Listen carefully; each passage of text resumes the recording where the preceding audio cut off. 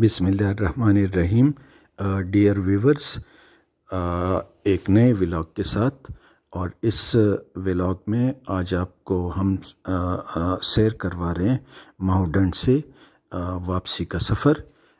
Dear viewers इस वापसी के सफ़र से पहले हम लोगों ने अपने कैंप की पैकिंग की और तमाम सामान हम लोगों ने अपनी दोनों जीप्स में रखवाया। और फिर उसके बाद जिस मुकाम पे हम लोगों ने कैंप लगाया था वहाँ की सफ़ाई भी की और ये सफ़ाई बहुत ज़रूरी है। विवर्स हमारे पास इस वक्त दो गाड़ियाँ हैं, एक गाड़ी जो है वो सरदार साकिब ख़ान और दूसरी अतीक खान जी की। ये सामने जो दरख्त दरख्तों का झुंड आपको नज़र आ रहा है। यहाँ पे हम लोगों ने कैंप लगवाया था दरख्तों के नीचे। विवर्स कैंप लगाने के लिए सायेदार जगह का होना ज़रूरी है और उसके करीब पानी का होना भी ज़रूरी है।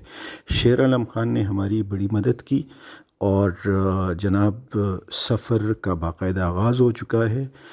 विवर्स ये सारा ट्रैक जीपेबल ट्रैक है। और फोर बाई फोर गाड़ी का होना बहुत ज़्यादा ज़रूरी है।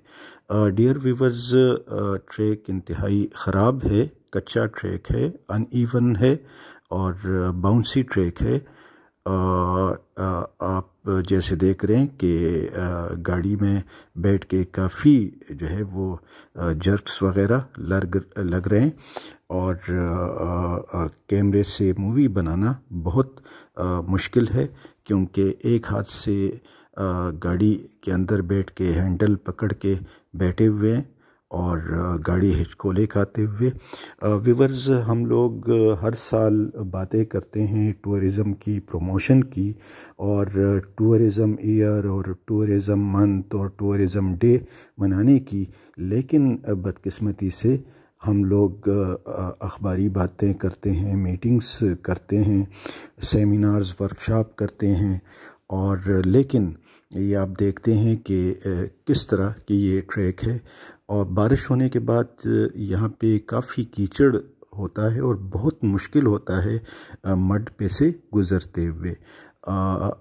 ऐसे हालात में इन रोड्स पे गाड़ी चलाते हुए इंतहाई ख़तरा होता है, कहीं खुदा नख्वास्ता टायराड या एक्सल या टायर बर्स्ट हो जाए तो गाड़ी सीधी रिवर स्वात में माउडन रिवर में जा गिरती है।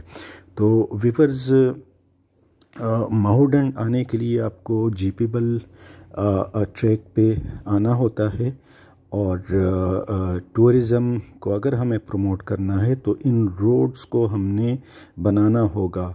जैसे स्विट्ज़रलैंड में वहाँ पे रेलवे ट्रैक्स बनी हैं और बड़े आराम के साथ लोग टूर्स करते हैं। विवर्स हम लोग बिलाखिर एक ख़राब पेज से गुज़रते हुए इस मुकाम पे आ गए। यहाँ पर बहुत ही खूबसूरत व्यूज़ आपको नज़र आ रहे हैं और जनाब, यहाँ पे हम लोग आगे का सफ़र करते हुए और एक एडवेंचर नुमा जर्नी है और पुरखतर और ऐसे रोड्स पे सफ़र करना दुशवार गुजार रोड्स पे सफ़र करना ख़तरे से ख़ाली नहीं है।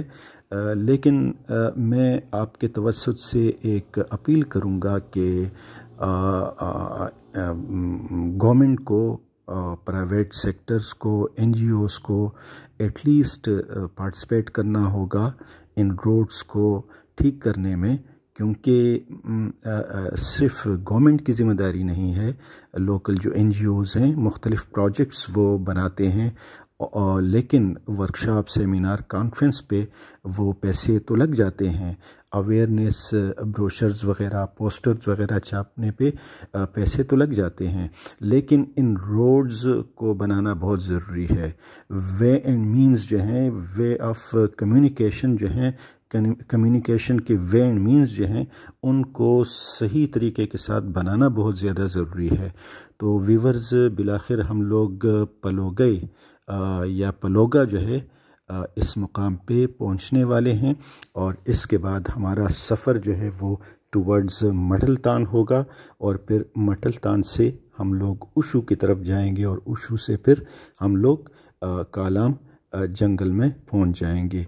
तो पलोगा या पलोगे जो है, ये भी एक इंतहाई पुरवज़ा मुकाम है एक जंगल से गुज़रते हुए और हमारे राइट साइड पे रिवर महोडन जो है, वो आगे जाके दरियाए उशू से मिल जाता है।